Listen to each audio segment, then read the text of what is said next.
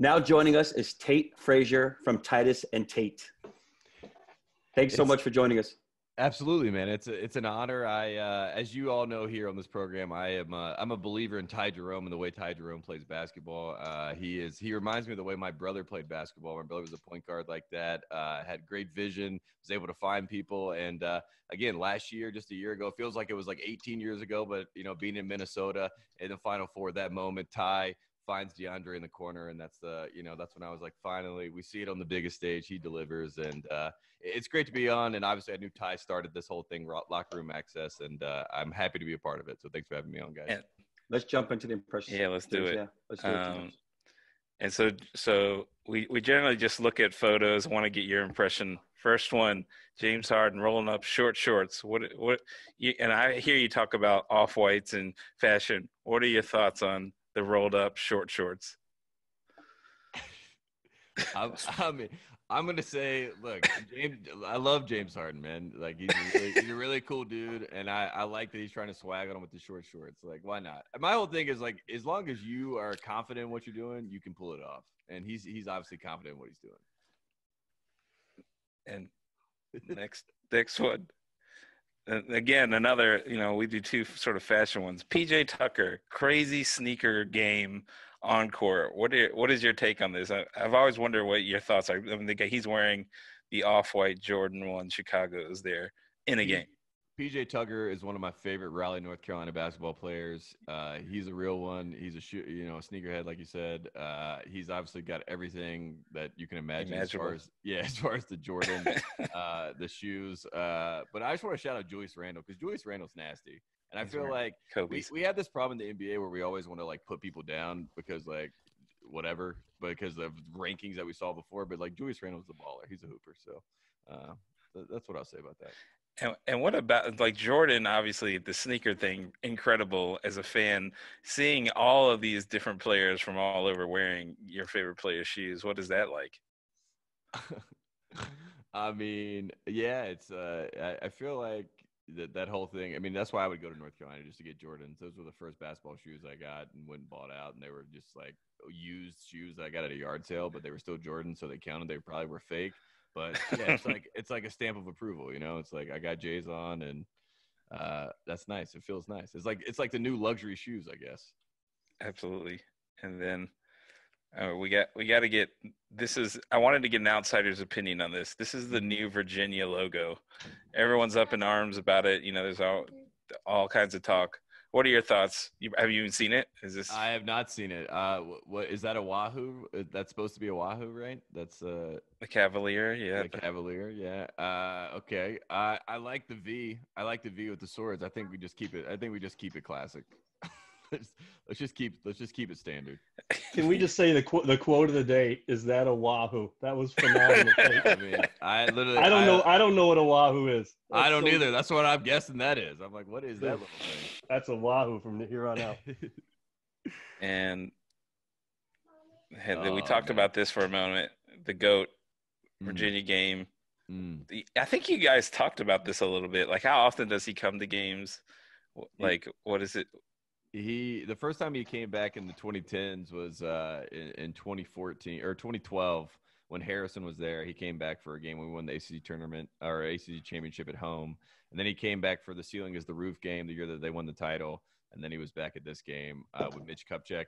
The fact that Kupchak is the GM of the Hornets now, uh, Michael's back around because Kupchak is, you know, he's Carolina through and through, so he's always back in Chapel Hill. So he brings Michael around, which is good. I was talking about Ronnie Weidman, but I, we'll take that answer as well. this next one, Grayson Allen's shot. Do you remember this in terms of foots down, balls in it? Balls in his hand. It's a travel, right? Is that where? Is that Yeah. Yeah. this is this is the game-winning, supposed game-winning shot. But Gray, Gray, Grayson Allen and his his antics from a Carolina fan does it just, does it just make you happy? Grayson Allen, honestly, he didn't even live up to the hype. Like I wish he was more hateable. I wish he would have done more. Um, I wanted, I wanted him like JJ Redick is the perfect person as far as what you're supposed to do at Duke to be hateable. It's like make be the best player in the country. Uh, you know, basically do this to the crowd, slap the floor, all this type of stuff. Grayson was doing things that you know no one likes to see, which is tripping. Like I, I want to see the uh, the rubbing it in my face and, and talking shit on the floor um, from a white guy who's hitting a bunch of threes, and that's that's Right. JJ John Shire. Grayson Grayson was like he was too perfect, you know. It was it was uh, it wasn't even as fun because I'm like I don't even want to hate Grayson. He seems like a nice kid. I feel Leighton, and, Laettner, Laettner and was with- pretty good at that too. yeah, Leighton. And with letting JJ joining the ringer, uh, uh, like doing podcasts, I feel like he's much more relatable now. And then Justin had him as a teammate. I've heard nothing but good things. It kind of ruins it for me personally, but Yeah, no, JJ is a great guy. I produce his podcast, and uh, all of the hate that I felt as a young kid was all uh, misinterpreted. He's a, great, he's, he's a great Roanoke, Virginia guy. He's from yeah, exactly. You're a Virginia guy now. Like I like JJ, There which is is. like a huge yeah. Anyway, the tides have turned. The tides have turned, of course. And then the next one is th- this is more of a question of the Jordan meme piece that going around as as a, I always wondered what how does that make you feel seeing Jordan's face plastered in all these different memes? This is Darius Thompson just getting one and um and then throwing it throwing the Well, classic Jordan crying meme on it. Michael's a genius because he hated the crying Jordan. So he decided to create a 10 part documentary series where he was given an iPad and it's just him laughing at other people that he beat. And now all the memes are him laughing. So uh, Michael Jordan is a marketing machine. Good answer. Oh, yes. The best. this is the one Curry. Ronald Curry, for those that don't remember, he is committed to UVA. Mm. Up until announcement day puts on a UNC hat. So every, all the UVA fans, at least that's how in my memory serves me correctly. We everyone was like, he's the next, you know, two sport athlete. Terry Kirby, we missed out on Allen Iverson. Mhm. Now we got Ron Curry. We're all amped up, and then he puts on a UNC hat. Is that how you remember it? Uh, how I remember it is basically Ronald Curry's coming to town. He's a number one quarterback. Uh, he's going to be a, a superstar. He was supposedly better than Michael Vick, is what we had heard. Yes. Uh, and then he came down, and Ronald Curry and Julius Peppers were the greatest. Uh, like they were just the greatest duo, two sport duo to ever have. Like they would play football season, they'd play in their bowl game. The bowl game would be over, and then they're back playing basketball. And uh, and it was just like, oh my God, here comes Peppers and Curry. It was such a fun time, and uh, I remember Doug Gottlieb told me that he would he would like bust up uh, Ronald Curry. He's like Ronald Curry sucks at basketball, and I always thought that was hilarious because I I loved Ronald Curry. I thought he was great, but um, you know, obviously playing two sports is it's hard to focus on one thing. Never, never easy. And he was He Charlie. Ward and him, right? I Charlie mean, Ward, too. yeah, yeah. Jameis Winston maybe because he plays football and baseball. We're- Oh my goodness, look at this picture. we already talked about this briefly for for for that, but that the Playboy article where Jordan said that you kind of briefly touched on it, but I just wanted to show you this picture one more time. That's a great picture. I uh, Michael would have been a great Virginia basketball player. That's for sure. I mean, I I don't even want to think about. We've talked about it. What uh, what would Virginia history be like with him? Because then we're get or then anyway. uh, Well, what what Virginia needs is Ralph Sampson highlights. You guys need a Ralph Sampson doc, honestly, because Ralph Sampson's incredible and people have no idea. Yeah, the Ralph Sampson that whole era is like, Yeah. yeah. Yeah, you're right. 'cause the, the, the, the highlights you see of Ralph are all the same recycled highlights. right? Yeah. You It's like three highlights. stuff. Yeah, yeah, that's true. and then the next one. Last year, Well, I was I was watching this. I was watching this at the All Star game. So I imagine you were you were there at the All Star game as well. Did you did you tune into this one at all? This is I during did. the dunk contest. It was during the dunk contest. I watched this happen. Honestly, I'll tell you this: I this team this year, I I I felt for them. Um, I wish Coby White would have come back, but I don't blame him for going to the league. But they were a young team, and Leaky Black is uh, one of my favorites, and there he is in that picture with the shot. It, it was a tough year for Carolina basketball. I watched all the games. Um, I like Cole Anthony. I've always liked Greg Anthony, but man, it couldn't have gone any worse. And uh, this shot is a perfect example of it. and then so so we're starting a new little series. We're going to show you three sports trading cards: one to buy, one to sell, one to trade. All right, cool. And this one, I imagine the the first one's is you know it's tough in the sense that you want to sell them all. Yeah, yeah, yeah. I definitely want to sell them all. Uh, I would probably, I would definitely sell the Grayson Allen rookie card. Um, I would uh, trade the Laettner and I would buy the K uh, because it's USA basketball, and the only time that I can get over Coach K is when he's with Team, Team USA because uh, you know it just is what it is.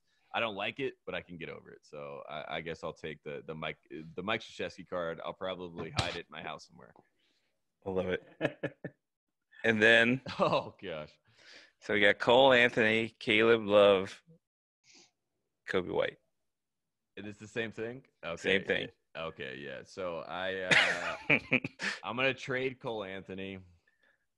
Uh, I'm gonna I'm gonna sell Caleb Love, uh, and then I'm gonna buy Coby White. Coby White's my favorite. Uh, he he's also he broke JamesOn Curry scoring record, so he's now the North Carolina State high school scoring record. Coby White has that record.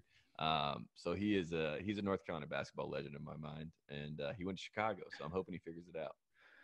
So the the Cole the, the weird as Cole Anthony, I don't even know. Has he declared for the draft? Is he? Yes, I he s- has. assume he Mhm. has. Mhm. What are what are his prospects looking like in terms of draft stock? Do you do you keep track of that? I think, uh, yeah, he's a lottery pick. It seems like from what I see. I mean, I, I it's a weird draft this year. Um, Lamelo Ball, from what I can gather, is going to be a top three pick. Um, That's crazy.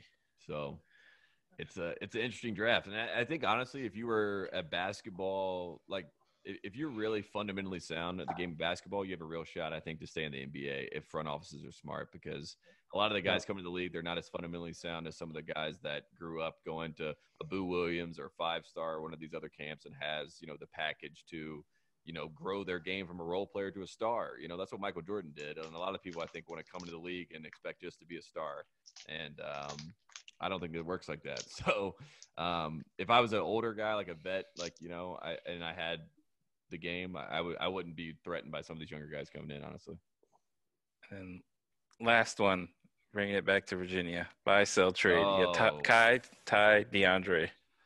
One of which was on the podcast earlier, so I'm not, yeah, not to that yeah. I mean, well, Ty Jerome's my favorite. of the three. so it's a it's a buy Ty, it's a trade Kyle, and because I want Kyle to get out of Sacramento to a better situation, so I'll trade him out of Sacramento. I'll say that, uh, and then I'll sell DeAndre. Even though I love all three of the guys, you have to understand uh, they're all they're like the perfect trio for Virginia, and uh, Ty's just my favorite because You can get a lot of money for DeAndre though. It's not like Yeah. selling. It's Yeah, not like yeah. selling. What's You're it- selling. a You're selling Allen. high. DeAndre is a part of a core in Atlanta that I think is that's that's such a great setup, and I think he's better than Cam Reddish. So I, I think that all worked out perfectly. That's it. That's all we got. Appreciate appreciate. Nice, nice. I appreciate So you get, can I get one more? Can I get one more question, Yeah. Tate, before you're done? Yeah, yeah, yeah. Do you do your UVA Mount uh, Mount Bennett? Mount Bennett. Can you do a Virginia Do, do four. Mount Rushmore? Yeah, do four. I'll just Whatever do want. four. I'll do four for those guys. Uh, Joe Harris, um, Justin Anderson, Ty Jerome, and no Justin. Justin, not even not because he's on this. but You were you were my you were you were like one of the ones that got away from me. I was like, we should have had him in Carolina. You're a Carolina basketball player, so I put you on that list. And then, uh, man, I'm trying to Yeah, if you, think. if you keep if you keep hesitating, somebody my face goes up. So be careful. 1993. Spit it out, Tate. Doug, no, I- I- probably Sean Singletary. probably Sean Singletary. Honestly, Yeah, I good did, one. I did. I did love Sean, and Sean's coaching now, right? You, is is he coaching somewhere? I think he was at LaSalle now. LaSalle, Uh, that's yeah, he's not anymore. I think he's Okay. back. He's back in Charlottesville. Uh, Nice. I, th- I think that whole era of UVA basketball just needs like uh like people need to see what was going on. Like they just need a, a refresher. Like the ACC network should just play games from like the 2000s, like UVA versus UNC randomly in 2005. Yeah, we just Just had Roger. Mason. We had Oh, Roger nice. Mason Jr. on, and like I don't even remember him being a UVA basketball player. I remember as an NBA player. So Yeah, yeah, yeah. That's what That's I a mean. good Like, point. that kind of stuff. I could Like, use it. They have all the vaults too. Like they have all those games, and we have no sports. So why don't they just play those games? Yeah, They did it because it makes too much like sense. I mean, they did. They did do the Carolina, the Jordan games, right? Did you, you watch some of those? They had Jordan versus Sampson. They had like two or th- I want to say two or three games. That was pretty cool. Yeah, it was cool last Saturday. Um, but yeah, I appreciate you guys having me on. and this has Absolutely. Thanks, I- Zoom. I, I had no idea we'd have this many guests on, so that was uh that was amazing. Hey, we just w- w- wanted everyone to have some love for you.